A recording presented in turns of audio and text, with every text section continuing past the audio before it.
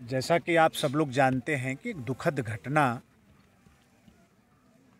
यहाँ रमेश राजभर जी के परिवार में घटित हुई,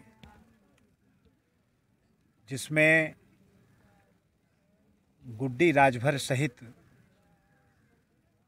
पाँच लोगों का दुखद देहांत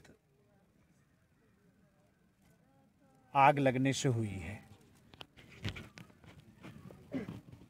मुख्यमंत्री जी को जैसे पता लगा, हम लोगों को जैसे जानकारी हुई। मुख्यमंत्री जी ने जो शोक संतप्त परिवार है, जो पीड़ित परिवार है, उनके परिजनों को आर्थिक मदद देने की भी बात कही और भी किसी भी प्रकार की सहायता की आवश्यकता है तो वो सब सहायता देने की भी बात मुख्यमंत्री जी ने कही है। कल ही उनका आदेश हुआ कि आप घटनास्थल पर जाइए, वहाँ पीड़ित परिवार से मिलिए, उनकी बात सुनिए। उसी क्रम में आज मेरा यहाँ पर आना हुआ है।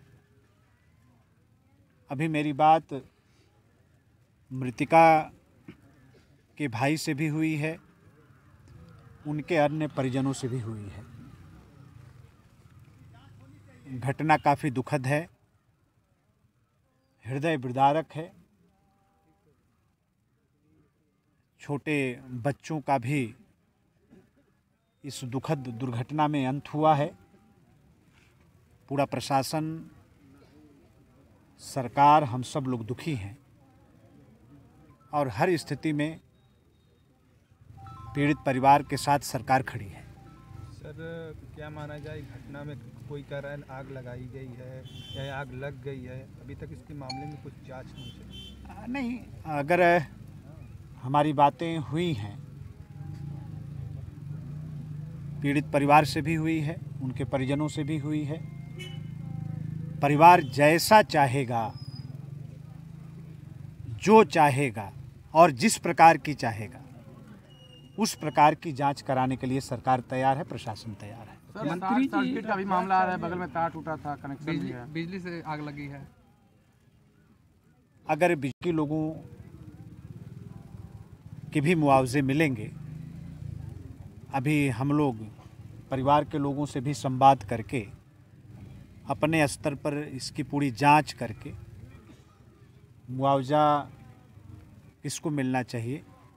ये तय करके, चूँकि एक पारिवारिक विवाद भी आपस का है,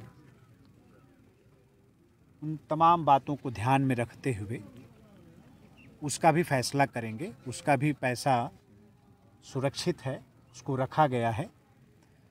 कभी कभी विधिक राय लेने की आवश्यकता पड़ती है। तो विधिक राय भी लेंगे और मुआवजा किसको मिलना चाहिए ये तय करके प्रशासन फिर आगे की कार्रवाई सुनिश्चित करेगा। मंत्री जी इसमें आवास अगर रहा होता तो घटना नहीं हुई थी ऐसी कोई इतनी बड़ी? नहीं, बड़े बड़े फाइव स्टार होटलों में भी आग लग जा रही है।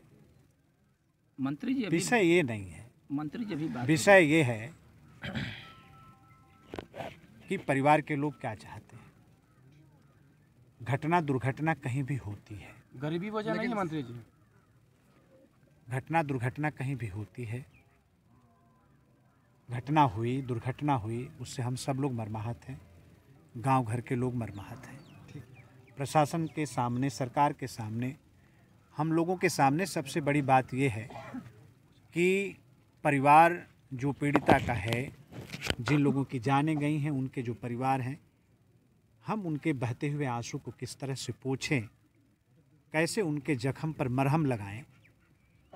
सरकार के सामने ये सवाल होता है और उस दिशा में मैं अपने मुख्यमंत्री जी का अभिनंदन करना चाहता हूँ कि बड़े ही संवेदनशीलता के साथ उन्होंने घटना का संज्ञान लिया है और परिवार को किसी भी प्रकार की कोई परेशानी सरकार नहीं आने देगी। जहाँ एक परिवार पूरा जल गया में जहाँ एक पूरा पाँच परिवार जल गया वहीं यहाँ पर एक प्रश्न चिन्ह खड़ा हो चुका है कि मुआवजा दिया जाए तो किसको दिया जाए? अब वह चूँकि अभी कुछ लोगों का कहना है कि परिवार आता था उसके पति आते थे जाते किसी, थे। किसी के कहने से थोड़ा होगा। जो उनके भाई हैं उनके जो रिश्तेदार हैं उनसे हम लोग बात बात करेंगे प्रशासन बात करेगा जाँच करेगा सब कुछ स्पष्ट हो जाएगा सब लोग संतुष्ट रहेंगे। बाकी लोग संतुष्ट हैं नहीं हैं उससे नहीं लेना देना। है परिवार क्या कह रहा है? परिवार की मंशा क्या है? परिवार की इच्छा क्या क्या है? परिवार की भावना क्या है? उसके अनुरूप सरकार फैसला करेगी प्रशासन फैसला करेगा आवास आवास के लिए क्या इनकी व्यवस्था की जा रही है? ज़मीन की क्या व्यवस्था की जा रही है जो मर चुके हैं तो नहीं ये ज़मीन तो जहाँ वो हैं वो हम लोग देख ही रहे हैं। मैंने यही बात कहा। इसीलिए मैं बार